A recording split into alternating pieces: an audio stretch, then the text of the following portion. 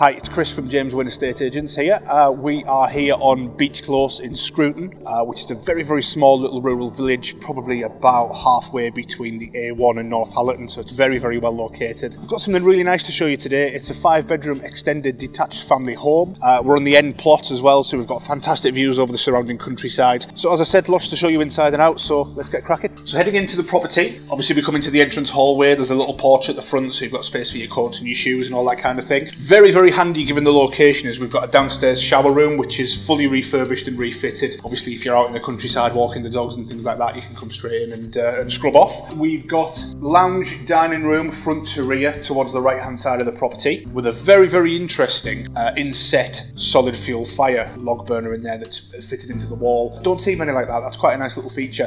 Very big windows, loads of light coming in, and then leading through to the rear conservatory, which just does make the most of those views out over the countryside as well. Okay, heading back into the property, we've got a centrally located kitchen with a breakfast bar and a few fitted appliances like your double oven um, and your dishwasher. Uh, loads of cupboard space, loads of storage. As I said, a little breakfast bar there as well to, to, uh, to sit and enjoy. Further through to the rear of the property, we've got a very handy utility room with another sink and some more storage and things like that. Back through to the central hallway, we're going to head upstairs. So if we take a left at the top of the stairs, this is the extended portion of the property. So we've got a single bedroom to the rear, currently in use as a study, could be used as a home office if you're working from home. Really, really handy space there. Then we've got uh, a bedroom to the front with window to the front and the side, shower room, but again, those views out over the countryside from this end of the property are fantastic. Then we're back over to the original portion of the property. We've got a very, very well sized bathroom to the rear with a shower cubicle and a bath as well. It's got one of each, so very flexible. Three remaining bedrooms, two are very, very similar in size, really good sized doubles, one to the rear of the property and one to the front of the property. And then finally, we've got this bedroom here, which is a very good sized single or a, a compact double. Um, but again, lots of space in all the bedrooms, loads of really flexible space, uh, very, very good sized bedrooms. We've also got a loft which has been boarded and lit, but it's mainly used for storage. So to the exterior of the property, we've got a brick paved front driveway leading to an integral single garage,